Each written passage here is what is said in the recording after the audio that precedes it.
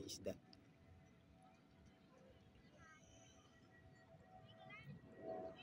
Kanarita.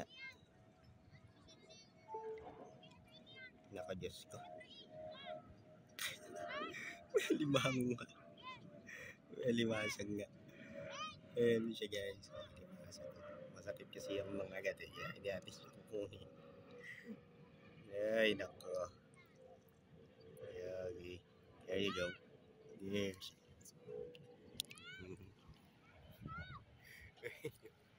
Makbo na.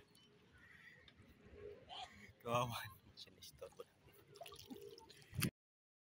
Tingnan natin dito sa may mga daw kung mayroong nakatira dito. Tingnan natin. Eh, tingnan natin kung mayroon. Eh, ay, may isda.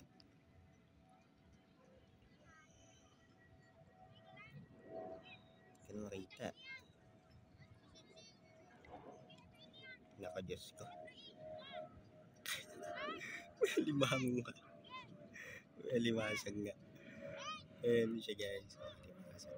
Masakit kasi ang mga agad eh. Hindi natin siya kukunin. Ay, nako.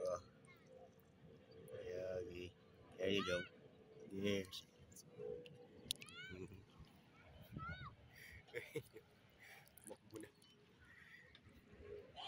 Tchau, mãe.